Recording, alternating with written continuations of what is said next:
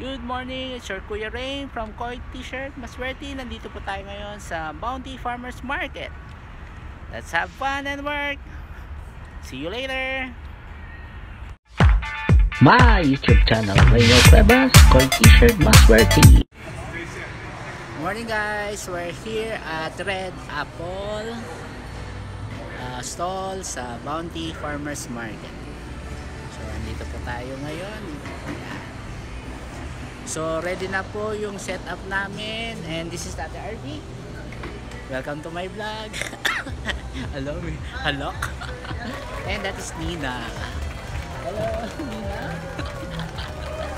so, that's Kuya Ogi. So, ito yung tsura ng Farmers Bounty Mar- Market sa loob. So, yan. Ito yung pinakapwesto namin. Malapit sa ATM booth.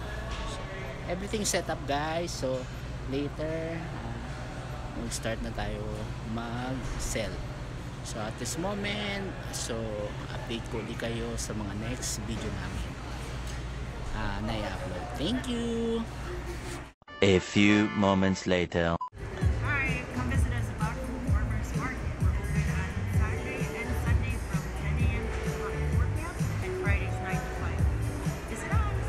Thank you! One hour later.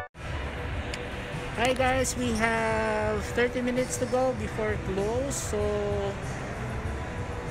hindi ako makapaikot sa labas kasi baka mamaya bawal. So hanggang dito lang ako sa booth namin kung paano ako nagba-vlog.